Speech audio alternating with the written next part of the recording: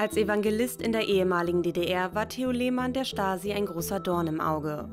Seine klare Verkündigung und seine Musik zogen Woche für Woche mehrere tausend Menschen in die Kirche. Bis heute ist es ihm ein Herzensanliegen, Menschen mit dem Evangelium zu erreichen. Im Gespräch mit Moderator Daniel Dehmann lässt er sein Leben Revue passieren und erzählt von seinem bewegten Leben und den Herausforderungen als Pastor und Evangelist in der damaligen DDR. Bibel TV Lauf des Lebens zu Gast bei Theo Lehmann. Herzlich willkommen, liebe Zuschauer, zu einem weiteren Lauf des Lebens auf Bibel TV. Wir sind heute zu Gast bei Theo Lehmann, der Mann, der Tausende von Jugendlichen in der DDR mit seinen Jugendgottesdiensten zu Jesus geführt hat und der den Jazz nach Karl-Marx-Stadt gebracht hat. Äh, wie das alles funktioniert hat, darüber wird er uns gleich berichten. Herr Lehmann, vielen Dank, dass wir heute bei Ihnen zu Gast sein dürfen. Ihr Lauf des Lebens begann am 29. Mai 1934 in Dresden. In was für eine Welt wurden Sie damals hineingeboren? Das war die Welt von Adolf Hitler. Der war an dem Tage, an dem ich ihn geboren werden sollte, in Dresden. Das heißt, da war alles abgesperrt und die Straßen verstopft und so. Meine Mutter konnte also kaum mit der Taxe irgendwie zum Diakonissenhaus gelangen. Das war der erste Zusammenstoß, den ich schon mit, einer, mit der Diktatur hatte. Ich habe gewartet, bis der Dämon die Stadt verlassen hatte und kam dann kurz vor Mitternacht dann zur Welt. Aber das war, wenn man das symbolisch nimmt, war das mein erster Zusammenstoß mit der ersten Diktatur, in der ich gelebt habe. Wenn Sie nochmal äh, Ihr Elternhaus äh, für uns beschreiben würden, was war das für ein Elternhaus? Meine Eltern waren Missionare in Indien, Südindien. Und die hatten dann nach sieben Jahren zum ersten Mal Heimaturlaub bekommen noch. Und da hatte sich dann herausgestellt, dass meine Mutter tropenkrank geworden war. Also die hat in Indien einen Sohn geboren, der zweite Sohn, der starb, dann eine Fehlgeburt gehabt. Also wenn man sich die ganzen Zustände vorstellt, die hatten ja nicht so wie wir heute Wasserflaschen oder so, die haben ja in primitiver Weise gelebt. Also die hat sich ihre Gesundheit total ruiniert gehabt. Und dann durfte sie nicht mehr in die Tropen raus. Und mein Vater stand vor dem Problem, ob er alleine wieder zurückgeht nach Indien oder eben bei der Familie bleibt. Denn er hat sich für die Familie entschieden. Und auf diese Art und Weise bin ich also in Deutschland geboren worden. Ihr Vater, der berühmte Missionswissenschaftler, dann noch später Arno Lehmann. Ja. Äh, was war das für eine Vaterfigur? Also ich habe von meinem Vater immer einen riesenhaften Respekt gehabt. Und das war sowieso, wir sind eine ganz nüchterne Familie gewesen. Es gab bei uns wenig so Zärtlichkeiten oder, oder sowas. Das gab es für uns eigentlich gar nicht. Mein Verhältnis zu meinen beiden Eltern war immer geprägt durch einen riesenhaften Respekt. Auch eine gewisse Distanz? Nein, nee, es war keine Distanz da, gar nicht. Aber es war ein Respekt da. Ich hatte irgendwie das Gefühl, er war was. Er stellte was dar. Ja. Und Sie sagten gerade schon, Sie haben noch zwei Brüder. Ja. Und der ältere Bruder, der ist tatsächlich noch in Indien geboren. Also der ist in Indien geboren. Und den habe ich immer beneidet, weil in seinem Ausweis stand ja drin, Geburtsort Madras, Südindien. Und bei mir stand immer drin Dresden. habe ich ihn immer beneidet. Inzwischen ist er ist schon gestorben und mein jüngerer Bruder auch. Als letzter übrig. Ja. Und Sie haben dann ja auch noch bewusst die Nazi-Zeit, ähm, die Zeit des Nationalsozialismus in Deutschland auch noch miterlebt mhm. und sind dann auch äh, bei der Hitlerjugend gewesen. Ja, also nicht Hitlerjugend, ich war beim Pimpfen. Das ist, das ist so, eine, so eine Vorstufe gewesen. Hitlerjugend stimmt schon. Ich, das, das letzte halbe Jahr war ich auch dort mit dabei. Da bekam man ja Koppelschloss und, und Uniform und, und das war also ganz wichtig und ich habe mich da auch wichtig gefühlt, dass ich dabei sein konnte. Wir durften ja noch keinen Dolch tragen, aber das war der Aussicht, dass man den bekam und so. Das, das, hat, das hat in, in Jung natürlich alles gereizt. Wie alt waren Sie da ungefähr? Na, da war ich zehn Jahre. Zehn. Mhm. Aber ähm, das hat dann doch kein, der, der Reiz verblasste dann. Der ist sehr schnell verblasst, ja. Der ist sehr schnell verblasst. Weil das war das stumpfsinnige Marschierübungen und was man da alles machen musste und Geländespiele und so. Das war nicht meine Welt. Also das, das war sehr schnell vorbei. Und da gab es, glaube ich, auch einen Schlüsselmoment. Ähm wo Sie gesagt haben, das kann hier nicht, nicht alles so richtig sein? Ja, ich weiß, worauf Sie anspielen. Das war eben so eine Marschierübung auf dem Schulhof, war das. Und da marschierte eine andere Gruppe an mir vorbei. Und da sah ich einen Klassenkameraden in, in der anderen Gruppe, den ich sehr verehrte. Das, das war ein äußerst vornehmer Typ aus der intellektuellen Familie. Ich weiß nicht, was die waren. Und die, die, die trugen auch Sommerhandschuhe und so. Also ganz, ganz noble Menschen. Und der musste diese blöden Marschübungen da machen, wo die Beine nur hochschmeißen und so. Also dieses idiotische. Und, und das war für mich wie eine Vergewaltigung des Geistes. Der Mensch war für mich so ein geistiger Typ. Und der musste diesen ganzen Mist mitmachen. Und, und seitdem, das war wirklich ein kleiner Moment nur, aber da, das hat mir das ganze Marschieren, Schunkeln oder irgendwelche Gemeinschaftsbewegungen und sowas, hat mir das alles versaut. Seitdem, von da an. Von da an bis heute? Oder? Bis heute. Bis heute. Ich kann nicht mit Schunkeln oder sowas. Ich habe auch Schwierigkeiten im Gottesdienst, im Chor da Psalmen mitzusprechen oder sowas. Bis heute. Also alles, was so in, in Massenaktivitäten oder. Kann ich so gleichförmige Bewegungen und so, nee, kann ich nicht leiden. Ja, so ja. tief sitzt das ja, dann drin. Wie wurde denn, ähm, also wenn Sie uns da nochmal mit reinnehmen, wie wurde denn eine christliche Familie damals äh, in der Nazizeit so wahrgenommen? Oder konnten Sie das als Kind noch gar nicht so richtig einordnen? Also ich habe da nicht viel mitgekriegt. Mein Vater hat als Pfarrer dann gearbeitet, der hat eine Gemeinde bekommen. Der war eigentlich Missionsinspektor in der Zeit. Er hat eine Gemeinde übernommen und da habe ich das Gemeindeleben und so das alles mitgekriegt. Aber von irgendwelchen, also Drangsalen oder was, habe ich gar, gar nichts gespürt. Ja. Gar nichts. Überhaupt nicht. Äh, Sie hatten 1948 Konfirmation.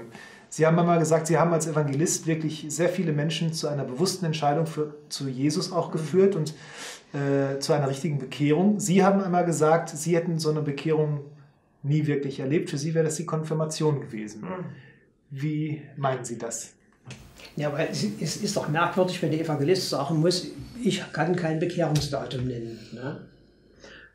Das wird einen Sinn gehabt haben, dass Gott mich so geführt hat, weil schon alleine damit niemand denkt, der zwingt jetzt die Leute zu dem, was er selber erlebt hat. Ich habe es ganz anders erlebt. Ich habe außerdem in dem Alter gar keine, also Evangelisation gab es gar nicht bei uns, haben wir gar nicht gekannt. Also für mich war die Konfirmation sozusagen die Bekehrung. Ich habe dort Jesus meine die Treue versprochen, auch zur Gemeinde mich zu halten, zur meiner lutherischen Kirche. Das war sozusagen meine Bekehrung, wo ich als junger Mensch bewusst gesagt habe, ja, das ist mein Weg, ich gehöre jetzt zu dir. Also nochmal die bewusste Entscheidung, auch ja. die durchdrungene, reflektierte und Entscheidung als jungen Menschen dabei zu bleiben. Ja. Für Jesus und für, für die Kirche dann auch. Eine Kirche, in der Sie nie Pfarrer werden wollten, haben Sie mal gesagt, als junger Mensch. Weil ich eben so viel Respekt hatte vor dem Pfarramt auch von meinem Vater. Das war alles, wissen Sie, ich, ich habe doch Kollegen gehabt, also äh, als Kind, als Kind, Väter von Schulfreunden, der Vater hatte eben eine Bäckerei und wurde der Sohn auch Bäcker. Und da habe ich immer gesagt, also das kommt für mich nicht in Frage, dass ich bloß deswegen, weil der Vater Pfarrer ist, Pfarrer studiere. Also ich hatte auch vor dem Amt zu viel Respekt. Das war etwas Besonderes. Ja, und am Ende bin ich doch im Vorhand gelandet.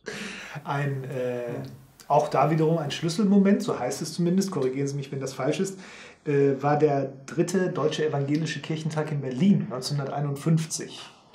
Wo was bei Ihnen passiert ist. Was war das für eine Atmosphäre damals in Berlin? Ich bewegte mich damals per Fahrrad in der Welt. Und meine 150 Kilometer oder was das war, von nach Berlin bin ich da geradelt.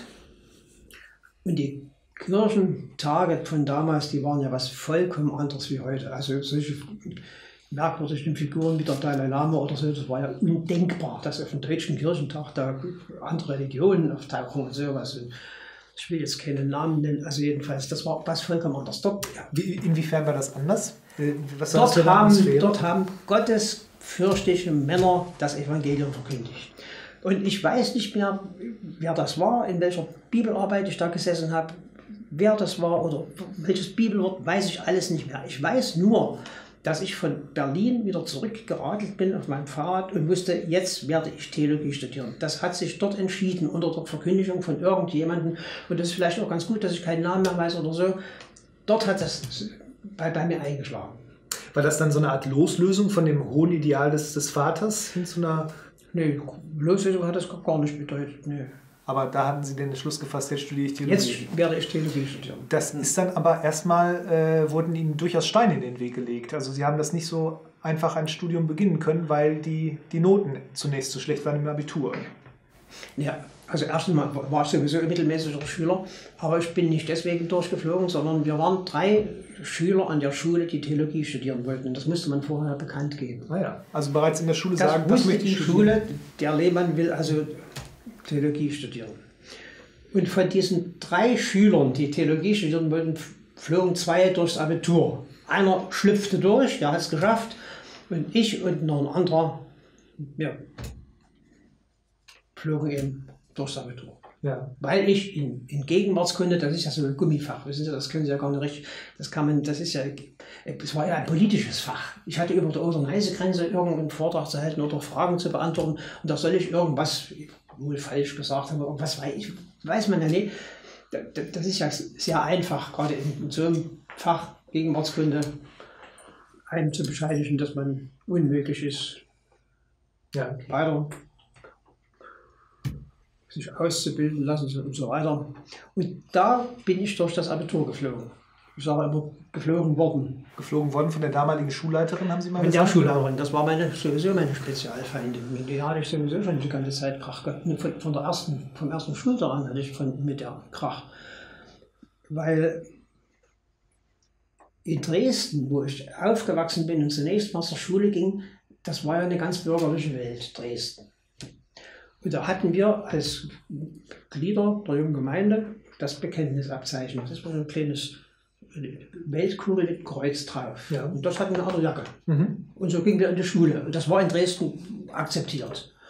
Und ich, naiver Mensch, bin in Halle, als meine Eltern da hingezogen waren, beide dort, weil mein Vater eine Stelle dort bekommen hatte, bin ich mit dem Kugelkreuzen in die Schule marschiert. Und gleich am ersten Tag der Perkatz eben dieser Lehrerin begegnet und da soll ich das abmachen. Da bin ich am nächsten Tag gleich in die Freie Deutsche Jugend eingetreten und habe das Abzeichen der Freien Deutschen Jugend daneben geschraubt. Und da bin ich so in die Schule gegangen. F4 Abzeichen mit junger Gemeinde. Und das gab natürlich Krach, das ist ja klar. Ne? Weil ich gesagt habe, also wenn, wenn ich das Kreuz abbauen muss, schreibe ich auch das F4-Abzeichen wieder ab. Also, die saß am längeren Hebel, kam der Tag des Abiturs und da bin ich eben da durchgerasselt. Außerdem war das noch so, dass an dem Tage mein Vater in der Zeitung angegriffen wurde, hatte er irgendwas gegen den Frieden getan oder weiß nicht mehr, was ihm da vorgeworfen hatten. Also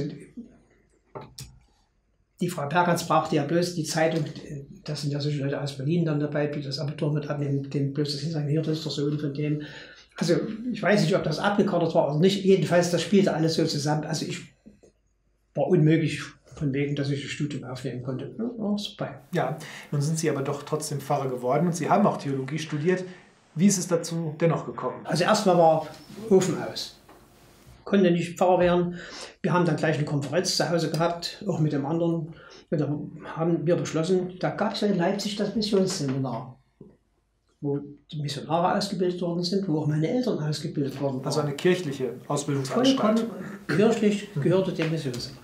Und die bildeten Menschen aus ohne Abitur. Das war schon immer so. Weil die studierten Theologen, die hatten keine Lust, Missionare zu werden. Und die Missionare sind damit rekrutiert worden, man sagte damals, von den Schustern und den Schneidern. Also irgendwelche Berufe, Menschen, die sich bekehrt hatten, die, die für Jesus was tun wollten, die hatten also keine Vorbildung, konnten aber in Leipzig ausgebildet werden. Und da sind die klügsten Männer draus geworden, eben Bruno Gutmann, über den wir vorhin gesprochen haben, und so, die dann später Sprachen erforscht haben und alles Mögliche. Und das bestand zur Zeit der DDR und bildete auch noch Missionare aus. Ich bin der, im letzten Kurs gewesen, der noch Missionare ausgesandt hat. Ab da war die Grenze völlig zu. Ja, und da habe ich dann dort zwei Jahre lang Theologie studiert war, glaube ich, nicht die komfortabelste Zeit ihres Lebens, kann man das so sagen? Naja, weil, weil ich habe das als Unweg betrachtet. Ich hatte, ja, ich hatte ja das Gräkum und das Latinum schon. Das musste ich aber alles noch einmal machen. Musste ich alles noch mal mitmachen. Und das fand ich also schade um die Zeit. Also ich habe meistens in den Vorlesungen Bücher mit, habe ich gelesen. Ich hatte mir vorgenommen, jede Woche musste ich einen Roman gelesen haben. Und da habe ich eben gelesen. Weil ich das alles schon hatte. Also das war für, fand ich Zeitverschwendung, war aber, hat sich als positiv herausgestellt, wie bei allen solchen Dingen. Deswegen ist mein Lieblingsbibelspruch, denen, die Gott lieben müssen, alle Dinge zum Besten dienen. Auch solche komischen Umwege, weil ich konnte dann das Abitur nachmachen, also musste ich nach Berlin zum Volksbildungsministerium und so weiter. Und dann konnte ich, bin ich sofort an die Uni gegangen und jetzt konnte ich erst mal richtig losstudieren. Das heißt, während alle meine Kollegen, die im gleichen Studienjahr waren, die mussten nur Latein pauken und, und Griechisch lernen und so. Und das hatte ich alles hinter mir. Und da konnte ich also gleich losstudieren, richtig. Und da habe ich eben alles mögliche andere noch mitgemacht und mitgehört und so. Und das ist dann für mich zum großen Segen geworden, dass ich wirklich, ich brauchte diese ersten zwei Jahre an der Uni nicht, mich mit dem Vokabellernen zu beschäftigen. Ja. Sie haben dann auch während des, der Zeit des Studiums Ihre äh, spätere Ehefrau Elke kennengelernt. Ja. Wie war das? Ja, die, die, ich wohnte dann außerhalb des Missionshauses und mit meinem Kollegen hatte ich eine Bude zusammen mit einem Studienfreund. Und wir fuhren mit der, mit der, mit der kleinen Straßenbahn immer rein, mit, der sie auch fuhr. So, so, ging der Tag immer los. Und, und, da haben wir uns dann angenähert. Und das war der, der eigentliche äußere Anlass. Mhm. Ich kannte es dadurch, dass ich immer mit der gleichen Straßenbahn täglich damit reinfuhr. Ja, und so haben wir dann kennengelernt. Ja. In Ihrer Jugend ist dann noch irgendwann der Jazz in Ihr Leben getreten. Können Sie sich noch daran erinnern, wann Sie so die ersten Berührungspunkte mit, mit der neuen Musik hatten? Ja, ach, das war viel eher. Das war in, in Dresden. Ich hatte Freunde, die hatten ein paar Schallplatten. Oder der Vater hatte Schallplatten. Und da habe ich die ersten Platten gehört. Da war ich schon ein, ein kleiner Junge noch. Und gehört habe ich zunächst mal nach dem Krieg, war das so, als wir unser Radio angeschafft hatten, da habe ich nachts, bin ich aufgeblieben und da kam dann nachts nicht nur Schlagermusik, sondern Jazzmusik.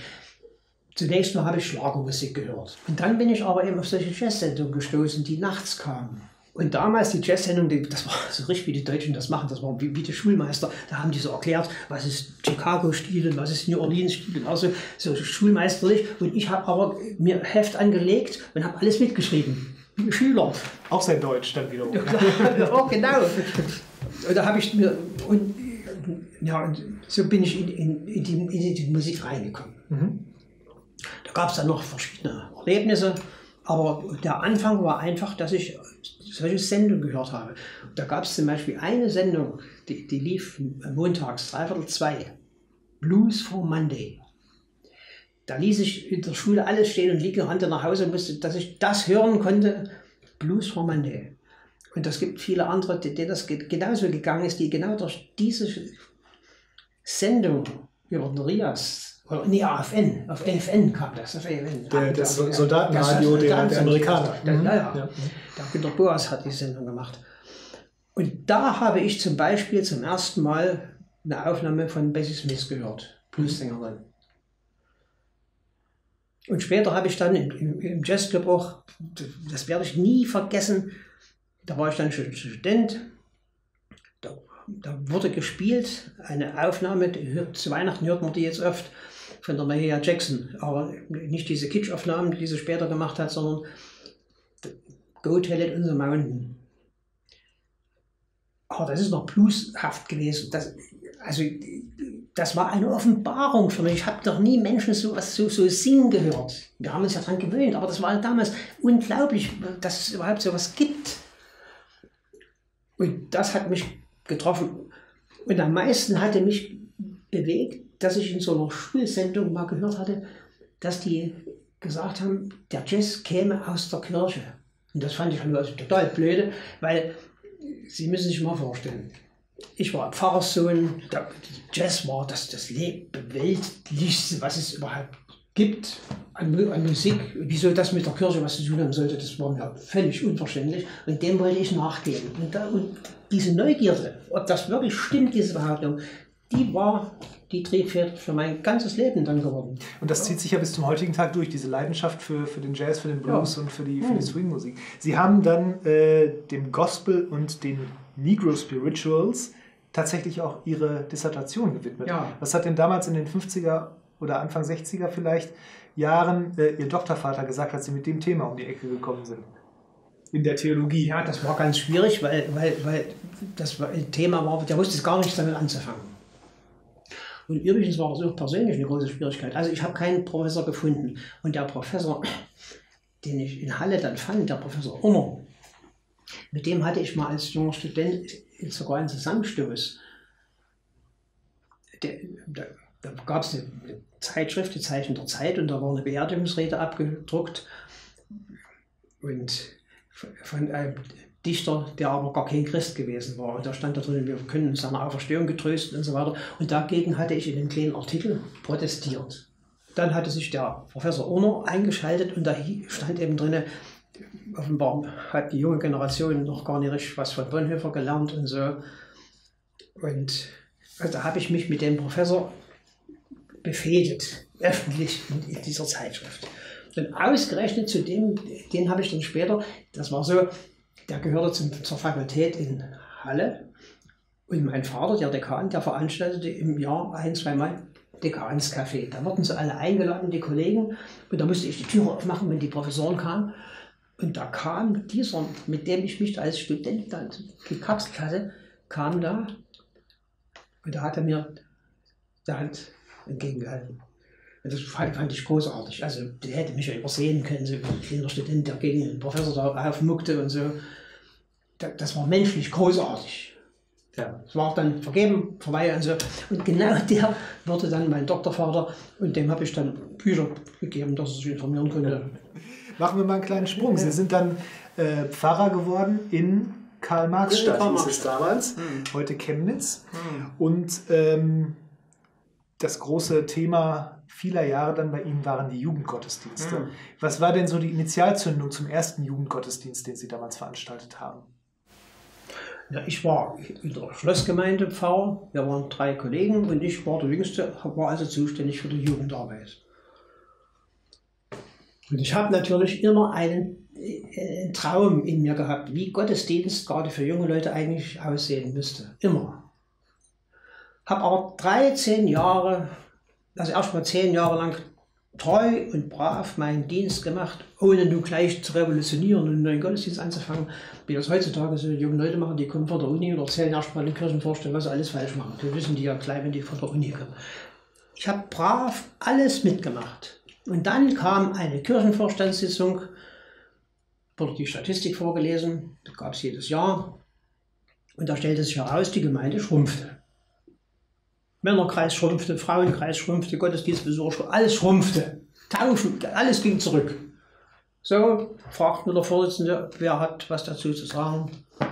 Jetzt saßen die alle so da. Jeder guckte, ob vielleicht der andere was sagt. Keiner sagte einen Mucks. Und da, da habe ich mich gemeldet. Und habe gesagt, dann werde ich einen Gottesdienst für junge Leute einrichten.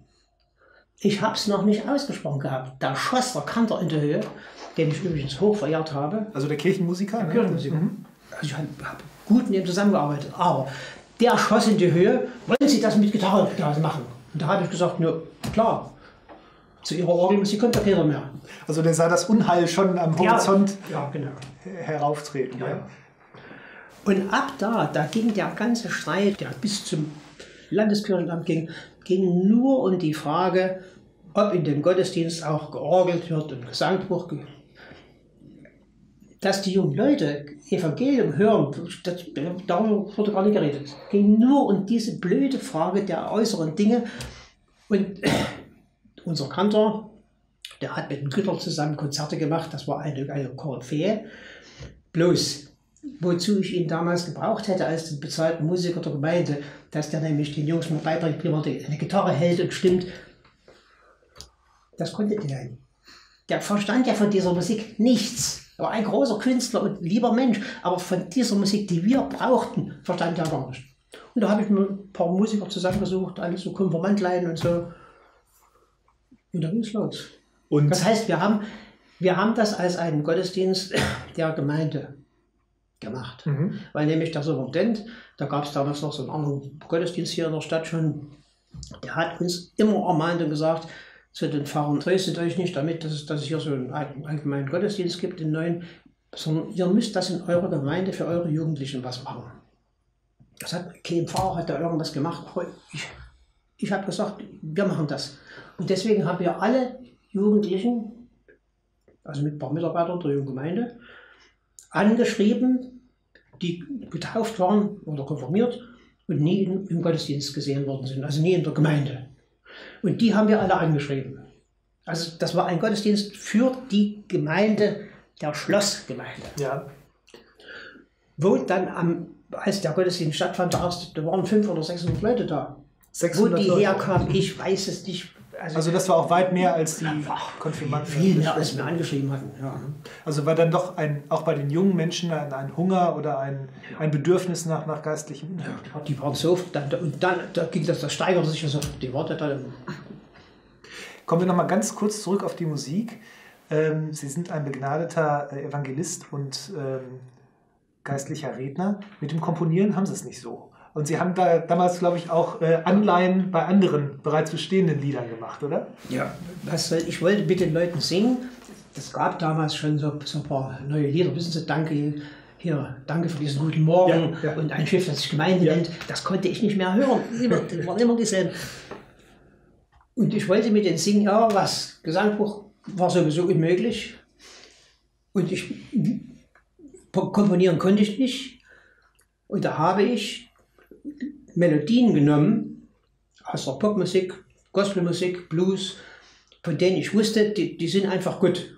Seit 100 Jahren bewährt, die werden in Gemeinden gesungen und habe einen neuen Text dazu gemacht. Also ich habe den nicht einfach übersetzt, und das hat sich dann ja sehr schnell auch zu einer sehr großen Veranstaltung dann auch entwickelt. Es blieb ja nicht bei den 600, beim zweiten Mal waren es dann... Ich weiß nicht, wie es beim zweiten Mal war, es war aber ganz schnell, da waren, waren dann 1500 da, das war so.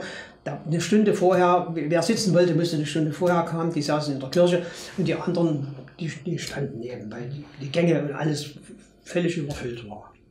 Und dann haben wir, das wuchs dann an, dass wir es dann zweimal machen mussten, den Gottesdienst, da waren 3000 Leute. Mhm. Jedes Mal, Jahr um Jahr. Über 20 Jahre lang. Jeden Monat war der Gottesdienst mit 3000 Leuten. Und immer auch mit den ganz beiden wichtigen äh, Elementen Christusverkündigung, Evangelium und Musik. Das waren so ja. die beiden Musik? Musik muss ja sein, in einer, Jugendveranstaltung sowieso. Das ist ja in jeder kirchlichen Veranstaltung so, bloß dass eben eine andere, eine andere Musik war. Aber es musste, die, die musste mitsingbar sein, ohne einen großen Lernprozess. Mhm. Vielleicht mal ganz kurz nachgefragt, jetzt ist es ja so, dass junge Menschen der Kirche heute nicht unbedingt die Bude einrennen. Hm. Äh, da schrumpft die Kirche ja auch ganz massiv. Hm. Äh, warum ist das so? Weil den, den Bedarf gab es ja damals. Meinen Sie, dass es den Bedarf heute auch noch gibt bei jungen Leuten? Was müsste sich ändern? Naja, man, man kann diese beiden Situationen überhaupt nicht miteinander vergleichen. Gucken Sie mal, wir waren damals praktisch das einzige, nennen wir es mal kulturelle Angebot an junge Leute heutzutage haben sie ja x Möglichkeiten. In, sie können selber Musikgruppen gründen, in, in, Vereinen, überall kann der junge Mensch mitmachen und sich betätigen. Es ist ein riesenhaftes Angebot, dem wir als Kirche gegenüberstehen, was wir aber damals gar nicht hatten. Da waren wir praktisch die Einzigen. Mhm. Und das hat natürlich geholfen, dass da sehr viele in die Kirche kamen. Die kamen klassenweise, das waren gar, nicht Christen, die kamen von der Schule, war gegenüber die kamen klassenweise da reinmarschiert. Ja. Einfach, die wussten, da, da ist was los. Ja, und natürlich die, die Musik, ich meine, das war am Anfang wirklich eine Sensation. Mit, mit dem Waschbrett zum Beispiel. Das Waschbrett mal. Wir hatten ja kein Geld, das Schlagzeug für 1000 Mark zu kaufen. Ne? Skiffleband heißt das, glaube ich, oder? Eine Skiffleband hatten wir. Was ist das? Also mit, mit Waschbrett und. Mit, mit Waschbrett, Gitarre, Bass. Mhm. Und aus. So ganz einfache Elemente. Ja, das war alles ganz einfach. Und, und, ich hatte damals gedacht, das ist eben noch zwei, drei Jahre ist das zu Ende, weil die, die jungen Leute ja ständig einen neuen Musikstil haben wollen. Aber es hat durchgehalten bis ja, Jahrzehnte. Und der große Zuspruch hat sicherlich auch äh, relativ schnell die Aufmerksamkeit des Staatsapparates auf sich gezogen. Wann haben Sie denn gemerkt, dass die Stasi sich für Ihre Veranstaltungen interessiert? Die waren vom, vom, vom ersten Gottesdienst an, waren die da vom ersten Gottesdienst an. Wie hat sich das geäußert? Ich, die, die, kamen damals sogar in meine Wohnung, wollten mich sprechen, da war ich aber schon in der Kirche drüben. Das weiß ich, was sie da von mir wollten. Und geäußert hat sich das so, dass vor oder nach dem ersten Gottesdienst, das weiß ich gar nicht mehr genau, da erschien ja in allen Briefkästen der ganzen Schlossgemeinde waren da so kleine, kleine mit Kinderdruck hergestellte Zweizeiler. Also kommt zu Fahrleben heute Nacht, denn da wird Gruppen 6 gemacht. Das ist sozusagen das, das harmloseste, was ich zitieren kann. Das, das war so schweinisch, das habe ich auch nirgendwo drucken oder erzählen können. So, da ging das schon los. Da habe ich mir gesagt, wir, wir das ist die Stasi war eigentlich klar. Also ich sollte sozusagen vor der, vor der Bevölkerung mies gemacht werden. Das taten das Gegenteil ein, weil sich alle jungen Leute sagten, wenn, das, wenn der so hier fertig gemacht wird, dann muss irgendwas da los sein. Aber das, der Zweck war eigentlich, dass, dass die Eltern sagen sollten zu den Kindern, ihr geht doch nicht ins Pfarrhaus in die Kirche, man weiß, da ist vielleicht doch was mit Haschisch und so, was dann alles für Vorwürfe waren. Das hat also den Gottesdienst dann von Anfang an begleitet. Und es wurden dann ja auch noch im, Laufe der Jahre weitere äh, Maßnahmen gegen sie ergriffen. Was waren denn so beispielsweise äh, äh die Maßnahmen, die da von Stasi-Seite gegen sie ergriffen wurden? Ja, ich habe hab das erst in, in, in, meiner Akte gelesen, was die alles mit mir angestellt haben und vorgehabt haben. Das, also das ging, ich sollte Kontakt haben mit, mit Antiquitätenhandel mit kriminellen Jugendlichen sollte ich irgendwie ins Vertrauen gezogen werden, dass ich davon erfahren würde und lauter solche, bis solche Dinge rein. Die haben in jeder Weise, die wollten zum Beispiel, das habe ich auch gesagt erfahren, ich habe es ja selber gar nicht mitgekriegt, wollten uns den Strom abschalten. Das sollte in der Schlosskirche der Strom abgeschaltet werden. Stellen Sie sich mal vor, es sind da 1500 Leute in der Kirche, die auf den Gängen hoch zu, zu den Emporen und während der Strom aus. Und sie können sich nicht mehr verständigen. Da sie, finster ist es auch, kann eine paar Panik entstehen.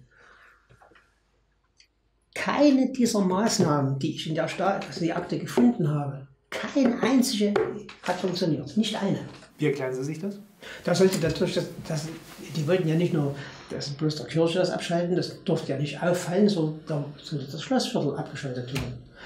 Und so eine, so eine, so eine Stasi-Aktion, das, das ist wie, wie, wie ein Drehbuch, müssen Sie sich vorstellen. Da wird genau festgelegt, der und der hat das und das zu machen, das muss der und der dem melden, der muss das dem und so weiter. Das ist genau festgelegt, wer, wie, was. Und das hat eine riesige Organisation, aber geklappt hat gar nicht. Und da könnte ich Ihnen eine ganze Reihe erzählen von, von Maßnahmen, die die ergriffen haben, die also einfach nicht funktionieren. Ihre Stasi-Akte ist sehr dick, wenn man das so sagen ja. kann. Äh, UV Spinne mhm. war, glaube ich, so der, ja. der, der, Name. Ja. Ähm, und es wurden ja auch Sachen gemacht, wie äh, Leute sind tagelang mit dem Auto hinter ihrem Auto hergefahren und mhm. es wurde versucht, ihnen Angst zu machen. Sie waren damals auch schon Familienvater, sie haben drei Töchter für die man ja auch irgendwie verantwortlich ist. Äh, wie fühlt man sich denn dann in einer solchen Situation? Ja, wir, wir haben den als Kindern ja nie genau sagen können, was die Stasi von uns will, ne, was die überhaupt will und macht und so. Das, das können sie ja Kindern, wie wollen sie denen das erklären? Das ist ganz schwierig. Und trotzdem habe ich gemerkt, dass die, die, die Angst vor der Stasi schon in den meinen Kindern sich eingenistet hatte. Da war meine Älteste, die war glaube ich neun Jahre alt. Und wir waren in, in, die Stadt gegangen, meine Frau und ich, und haben irgendwann gesagt, wir, wir kommen irgendwann wieder, meinetwegen um sechs. Und haben uns aber verspätet. Weiß nicht warum, was da war, kamen wir zu spät. Da steht die vor der Türe vom Pfarrhaus von uns und da sagt diese neunjährige Göre als erstes, jetzt habe ich gedacht, die haben euch verhaftet. Jedes andere Kind hätte gesagt, ihr habt wohl jemanden getroffen oder noch einen Kaffee getrunken habt oder irgend sowas. Nee, jetzt habe ich gedacht, die haben euch verhaftet. Stell dir mal vor, das war das Erste, was, was die gedacht hat.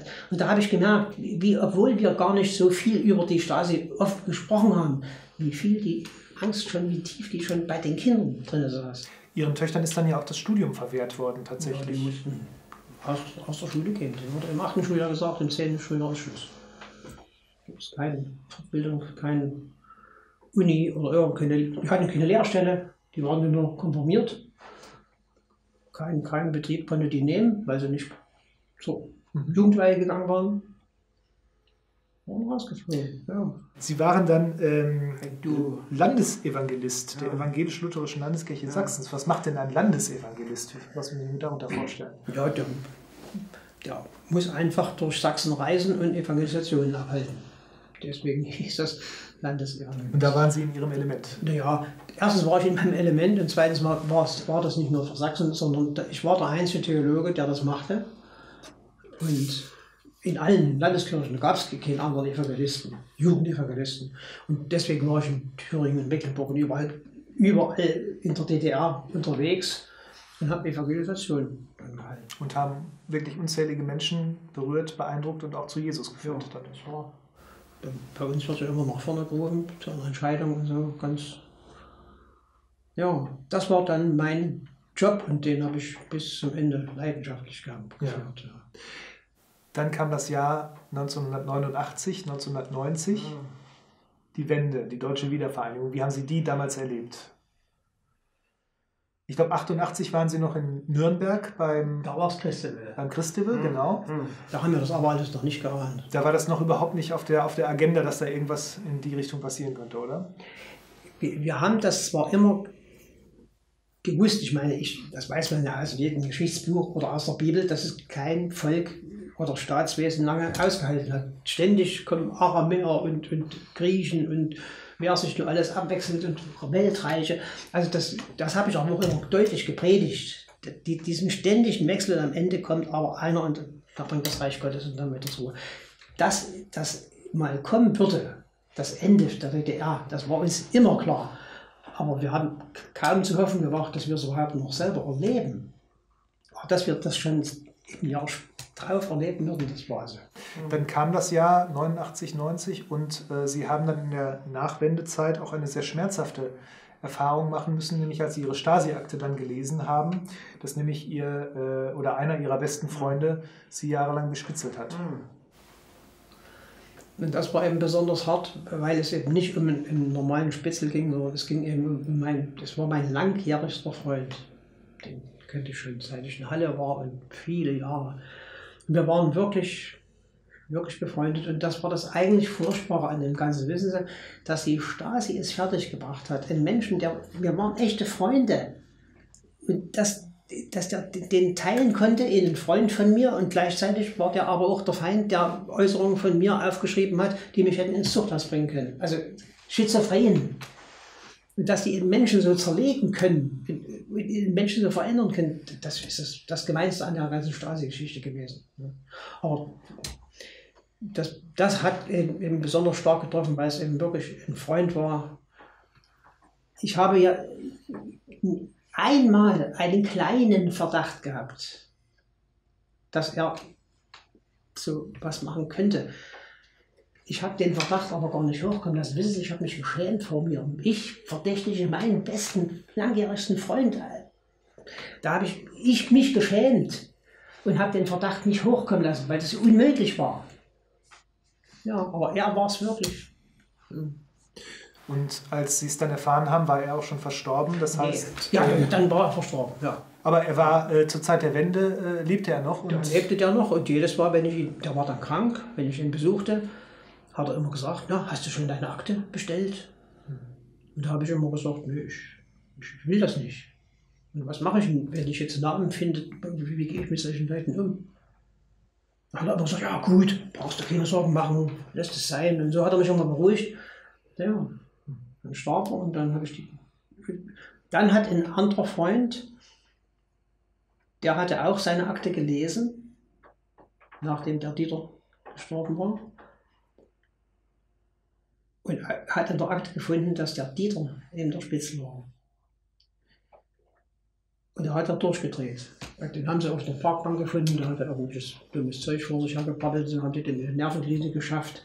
Und als der aus der Nervenklinik nach ein paar Tagen rauskam, hat er mich angerufen und hat mir gesagt, der Dieter, unser bester, gemeinsamer bester Freund, der war der Spitzel. So, das ist wie so ein Faustschlag ins Gesicht. Und da habe ich mir gesagt, so, was noch Schlimmeres, als dass mein bester Freund mich verpfiffen hat, das gibt es gar nicht. Und daraufhin habe ich mir die Akte erstmal bestellt. Das war der Anlass. Weil ich sage, schlimmer kann es nie kommen. Dann kam der ganze Mist, den ich nur alles nochmal durchlesen und durchmachen musste. Also es war eine äußerst unangenehme Zeit, dieses Aktenstudium. Was kommt da in einem hoch? Sind das Aggressionen? Ist das Trauer? Ist das Ja, man staunt nur. Also man staunt über, über diese, diese Unvorstellbarkeiten, bodenlosen Gemeinheiten, die man dann, in, was man da liest und so. Also ich war nur am Staunen und Wundern. Ich habe sonst keine, keine, keine Regung, ich habe keine, keine Hassgefühle oder irgendwas. Man hat noch das Gefühl der Dankbarkeit hat eigentlich am meisten überwogen. Dass gerade durch die vielen Dinge, die, die Fallen, die mir gestellt worden sind die alle nicht geklappt haben, dass man da durchgekommen ist, dass mich Gott da durchgeführt hat. Das war eigentlich das über, überwiegende Gefühl dabei. Nach der Wende war ja dann ja politisch und gesamtgesellschaftlich eine ganz neue Situation. Ähm, hat sich Ihr Predigtstil dann nach der Wende verändert? Nee, nicht mit einer Silbe. Gar nicht. Nach der Wende, da haben immer so die Jugend oder so, die haben gesagt, so jetzt müssen wir alle unsere Manuskripte wegschmeißen, müssen wir alles was Neues machen. Ich bin stolz, dass ich keine Predigtmanuskripte weggeschmissen habe. Und ich kann heute eine Predigt halten, die ich in der DDR gehalten habe. Genauso, Wort für Wort. Ich meine, aktuelle Dinge müssen ausgetauscht werden, das ist ja klar. Ich kann die genauso halten, weil ich das Wort Gottes verkündigt habe. Ich habe nicht bloß politische Witze gerissen. Ich habe die Bibel ausgelegt. Ich, heute noch veröffentliche ich Predigten. Wir haben, ja so eine Israel-Gemeinde, Israel-Freunde Sachsens. Und die eine Zeitschrift, da veröffentliche ich so Predigten über Mose und Jakob. Das ist doch vollkommen egal, in welchem Rahmen man sich befindet. Ich habe die gleichen Predigten zum Beispiel, die ich hier mal gehalten habe über, über den, den Daniel, da hatte ich mich immer davor gefürchtet. Ich habe immer gesagt, wenn ich die halte, das wären die letzten Predigten meines Lebens. Weil wissen Sie, der Daniel, wenn Sie schon den, den Bibeltext vorlesen, wie das so Denkmal in der Wüste aufbaut, wo die alle davor niederfallen müssen, da dachte jeder an den großen Karl-Marx-Kopf dran, wenn ich diesen Bibeltext nur vorgelesen habe. Das war ja schon eine Frechheit. Dann kam noch die Auslegung dazu. So, und ich habe die gleichen Predigten, habe ich dann später, musste ich in der Rhön eine Woche da mithalten in so einem Zelt. Also in der Demokratie, in einer gesellschaftlich völlig anderen Situation. Und das war genauso aktuell. Genauso aktuell. Da war zum Beispiel auch damals, da war eine Jüdin dabei, die hat, die hat als alte Frau angefangen, die war im KZ gewesen als Kind und hat ihre KZ-Erlebnisse angefangen zu malen. Ab. Bilder, die noch größer waren wie die Wand ja. Und da stand ich in dem Zelt umgeben von solchen riesen Bildern, zum Beispiel von den Männern im feurigen Ofen, über die ich gepredigt habe und die Leute konnten das dann sehen. Also es hat mir gar nicht ausgemacht, alte Predigten zu nehmen und mit Leben zu erfüllen. Und ich brauchte das nicht wegschmeißen, gar nicht. Ich habe damals dasselbe gesagt wie heute. Nun haben ja viele Menschen nach der Wende einen kirchlichen Aufbruch eigentlich erwartet, weil ja auch die Protestbewegungen auch so im kirchlichen Umfeld auch losgegangen sind, Nikolaikirche und so weiter. Äh, der kirchliche Aufbruch ist dann ja ausgeblieben. Haben Sie das auch erwartet und wurden Sie dann ein bisschen auch enttäuscht? Nee, ich, ich habe mir da nie Illusionen gemacht. Die Kirche war geöffnet für die Leute, die sich verständigen wollten, wegen, ob sie die DDR verlassen und so weiter. Die, die Sonntagsgottesdienste in den gleichen Kirchen waren zur DDR-Zeit genauso leer, wie sie heute auch sind. Die waren nur Montagabend so voll. Wegen des besonderen Anlasses. Also nicht immer zur DDR-Zeit sind die Leute dann Sonntag früh in die Kirche gekommen. Die haben am Evangelium waren die ja gar nicht interessiert. Und deswegen habe ich mir niemals Illusionen gemacht und dass die dann weggeblieben sind, weil sie die noch nötig hatten, weil sie die Freiheit bekommen hatten. Also mich hat das nicht gewundert. Ich habe mir da nie irgendeine Illusion gemacht, dass es irgendwie besser käme für uns. Im Gegenteil, es wurde alles schwieriger. Sie haben Anfang der 2000er mal gesagt, da zitiere ich mal, dass das Christsein künftig, Zitat, nicht mehr geil, sondern gefährlich ist. Zitat Ende. Ja, das merkt man ja jetzt. Sehen Sie das so? Ja. Dass es gefährlich ist, Christ zu sein, auch in Deutschland? Ja, inzwischen wird das immer gefährlicher. Ja, na klar. Woran machen Sie das fest? Ich weiß nicht, in welcher Zeitung oder wo ich das gestern gelesen habe. Das, eine, eine Weihnachtsfeier das muslimisches Kind hat protestiert, dass da christliche Lieder gesungen werden und da findet eben sowas jetzt in dem entsprechenden Kindergarten oder Schule oder was das war nicht mehr statt. Das sind normale Dinge, die sich heutzutage abspielen, die vorher undenkbar waren, dass irgendjemand protestiert, mir gefällt das, das Lied nicht, das stört mich als in meiner Religion. Sie zeigen ja auch in der, der Frage sehr klare Kante. Sie sind auch ähm, hier in Chemnitz auch bei den Pegida-Demonstrationen äh, mitgelaufen. Mhm. Warum haben Sie das gemacht? Ja, äh, mich hat gestört, dass es eine Gruppe von Menschen gab, von der ich das Programm war, war okay, hätte ich alles unterschreiben können, die nicht randalierten, die nicht immer laut sangen oder redeten, die sind nur still durch die Stadt gingen. Und die wurden als Rassisten, als Faschisten, so, da bin ich hingegangen. Und da habe ich aber, ich habe nie rassistische Töne gehört. Ich muss dazu sagen, Chemnitz ist nicht Dresden. Mhm. Und in Dresden war ich nie, weiß ich nie, was da war. Ich kann nur über Chemnitz reden. Hier jedenfalls gab es keine Nazis und gar nicht von Faschisten war halt keine Rede, sondern das waren Menschen, die einfach Forderungen hochstellten, politische Forderungen, die ich völlig unterschreiben konnte. Was waren das dann für Forderungen? Ja, zum Beispiel, dass, dass die, der, der Beschluss der Bundesregierung, dass die Polizei dezimiert wurde, abgeschafft wurde zum Teil, dass der immer aufgenommen wurde. Wir haben gesagt, im Gegenteil, wir, wir brauchen mehr Polizisten. Das war vor ein paar Jahren. Das, das war Rassismus und, und eben Faschismus. Das wurde dann als, als ein Argument gebracht. Und was haben wir jetzt? Jetzt sind die Nachrichten voll, dass, dass hier noch tausend Polizisten erstmal noch neu ausgebildet werden müssen. Das dauert ja noch Jahre und so. Das waren solche Forderungen, tagespolitische Forderungen, die ich unterschreiben konnte. Die Pegida wird immer als islamfeindlich wir sind Islam kritisch. Das wird man ja wohl nochmal sein dürfen. Wie stellen Sie sich denn ein ähm, friedliches Zusammenleben in einer pluralen Gesellschaft auch vor? Weil dass es nicht nur Christen in Deutschland gibt, ist ja eine, eine Tatsache. Da gibt es ja auch hm. äh, Anhänger anderer Religionen und auch Atheisten. Ähm, wie kann das gelingen, dass man sich, dass man friedlich zusammenlebt? Ich weiß es nicht. Und bezweifle auch, dass das mit, mit Millionen, die hier reingelassen werden, ohne dass man weiß, wer sie sind. Die haben ihre Pässe weggeschmissen, geben fall, falsches Alter an, falsche Namen. Da sind Terroristen drunter wie der Amri und so weiter. Ich weiß es nicht. Hätte da das, das Christentum äh, und, und die Botschaft Jesu Christi da auch nicht eine unheimliche Kraft, mit einer solchen Situation auch umzugehen? Also Stichwort Nächstenliebe, Feindesliebe. Ja, das haben ja die Christen bewiesen, die, die sich bis, bis zum heutigen Tage, bis hin zum Kirchenasyl, die sich für die Flüchtlinge einsetzen. Den, da gibt es ja viele freiwillige Helfer, die den Deutschunterricht geben und was da alles gemacht wird.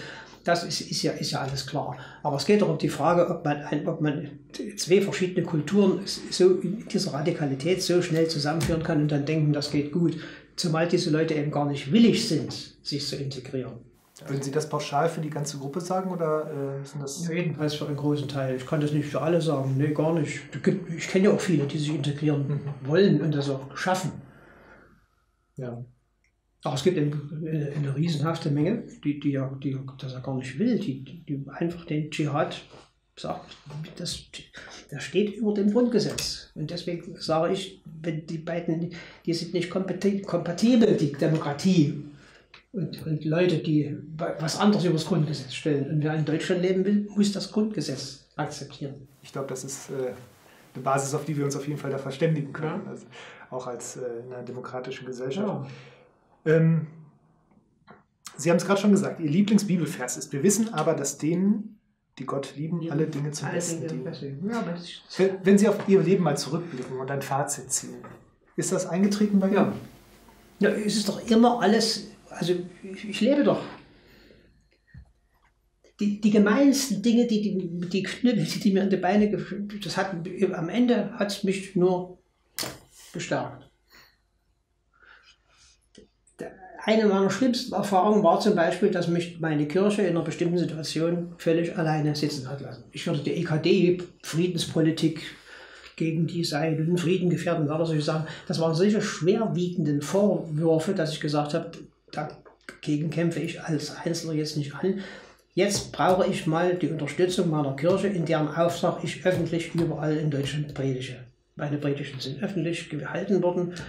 Und da habe ich die Kirche darum gebeten, also mich mal vor diesen Vorwürfen zu schützen. Und, mir, und das haben die nicht gemacht. Die haben es einfach jahrelang, haben sie den, den Stolpe in der Hand gegeben und der hatte ganz andere Sachen zu tun mit der Stasi, als für den Pfarrer einzutreten. Also jedenfalls, die haben da gar nichts gemacht.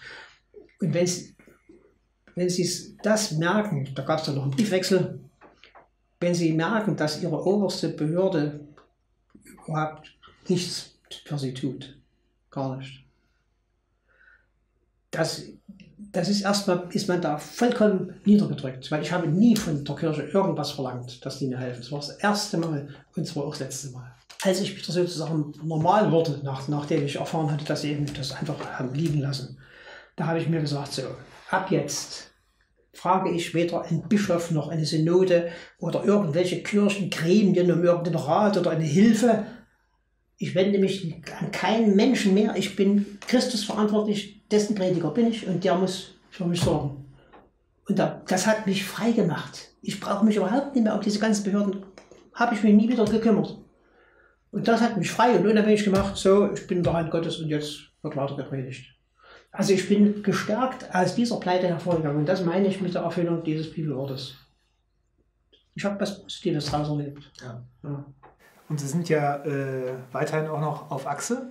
Äh, Sie sind sehr rührig, ja. auch äh, mit Jörg Svoboda. Ja, wenn es geht, äh, ja. Auch noch unterwegs. Äh, was sind so die nächsten Projekte, die Sie gerne noch realisieren würden in nächster Zeit? Ja, ich habe noch, hab noch eine Evangelisation jetzt im, im März vor und so. Insofern läuft das alles ruhiger. Ich mache einzelne Dienste überall, wo es geht. Aber richtige Evangelisation, das ist kaum noch. Ja. Und das ist ja mein eigentlicher Dienst. Meine Hauskreise und irgendwo eine Predigt halten und den Gottesdienst, das machen alle, alle emeritierten Pfarrer ständig. Ne? Und sowas mache ich eben auch. Aber das Eigentliche, was mein eigentliches, also was mein Beruf, meine Berufung war, das ist vorbei. Wir haben ja Ihr Lieblingsbibelzitat. Wir wissen, dass denen, die Gott lieben, alle Dinge zum Besten ja. dienen. Und in der Hoffnung gehen wir alles weitere an. Ich ja, danke gut. Ihnen sehr, Herr Lehmann, für Ihre Gastfreundschaften, für das heutige Gespräch. Und auch bei Ihnen, liebe Zuschauer, bedanke ich mich für die Aufmerksamkeit an der heutigen Sendung Bibel TV Lauf des Lebens zu Gast bei Theo Lehmann. Ich wünsche Ihnen alles Gute und Gottes Segen. Auf Wiedersehen.